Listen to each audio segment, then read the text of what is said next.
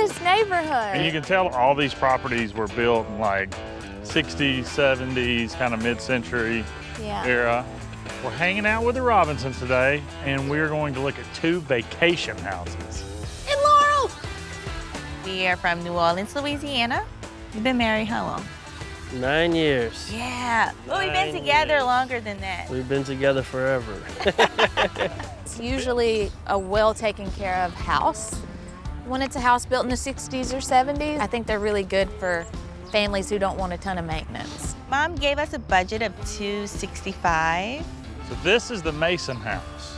What do you think? Oh, I Awesome. love everything. Looks like a great house. Nice front yard. Nice place for the kids to play. I'm looking at the roof. Seems pretty good. Yeah, Yeah, the roof looks roof. new. Mm-hmm. The Mason house, four bedrooms, three baths, 2,900 square feet, was built in 1966, and they're asking $170,000 for it. Okay. Oh. We call it the Mason house because Betty and Dick Mason lived here for 43 years. She was a lifelong nurse, mm-hmm. and he was a landman in the oil industry. Okay. Oh, okay. I like that. I like that. Subtle. It is very subtle. We take these iron bars off the windows and give you a new front door that has windows in it. That's something a little bit more modern, lets in more natural light. And then build this sort of a partition wall with wood slats that is kind of a decorative element you would see in mid-century houses mm-hmm. that would, in this case, kind of push this house into the 2020s modern version.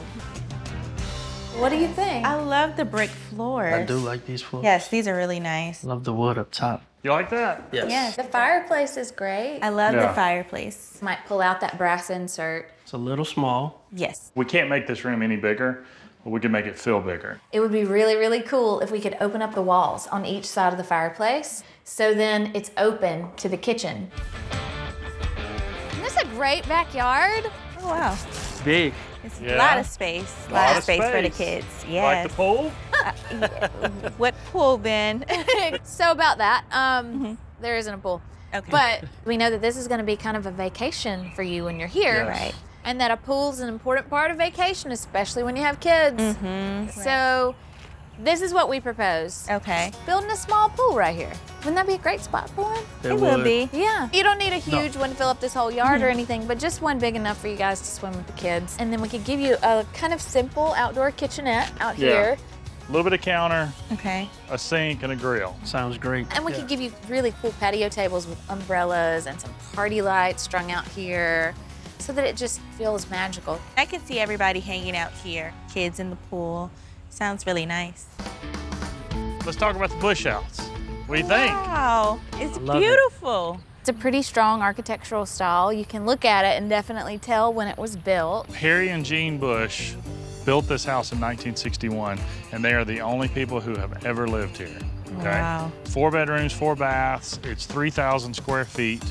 They're asking $165,000 for it, Okay. and I mean it's really well kept. Looks like it. What do you think?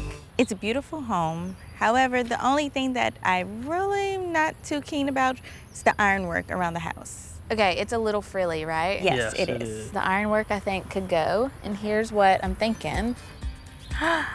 Oh wow. It's Beautiful. You like it? I Yes. love it. Okay, awesome. It's really subtle changes. We just took away all the ironwork, Okay. replaced it with like a decorative slatted wood that's a little more modern and sleek, and then maybe just trimming up the landscaping because it's really so beautiful. the way It is. There's two cooktops, two ovens, two fridges, two sinks, two dishwashers. I've never seen anything like That's it. crazy. Me neither. I know this is not your style, but it's got all the space you could ever want. Yes. I So, love the space. Good. Now this is a den. Wow. Oh, yes. This is definitely a It's den. huge. This is interesting on this side. So Yes, what is that? I'm we confused. don't know. So we've come and looked, You got a light, a trap door. but I don't want to open the door because I'm afraid of what might fall. Yeah, don't do that. Come on out. Oh, wow. So this one already has a pool, and it's in good shape. It probably just needs some cleaning. More yard, That's a lot Yeah. of yard. outdoor sinks. Yeah. Lots of potential. Potential parties. Oh, yes. Need some work. Yeah, that looks a little dingy and rough. I know. Yeah. Yes.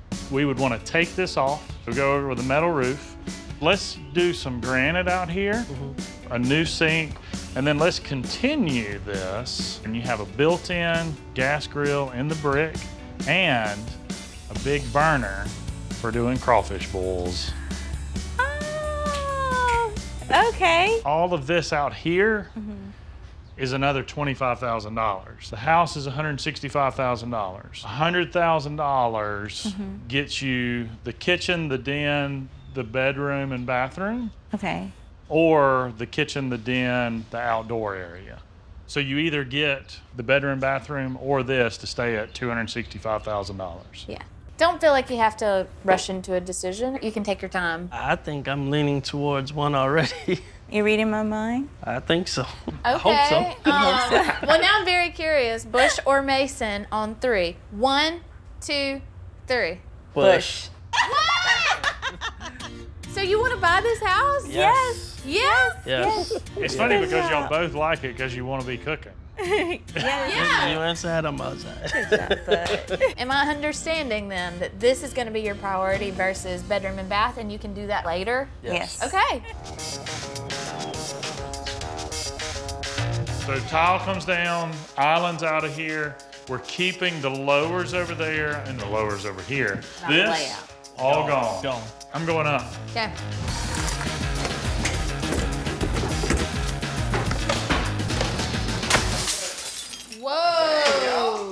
Of the oven just shattered like glitter. Hey, Erin.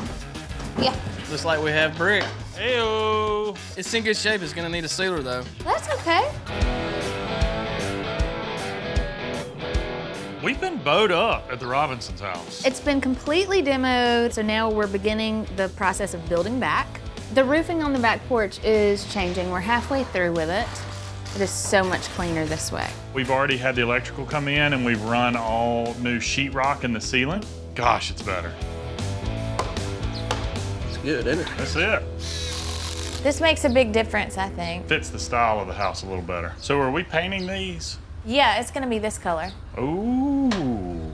I just want to push it away from the sad brown 70s into something a little more fresh and new.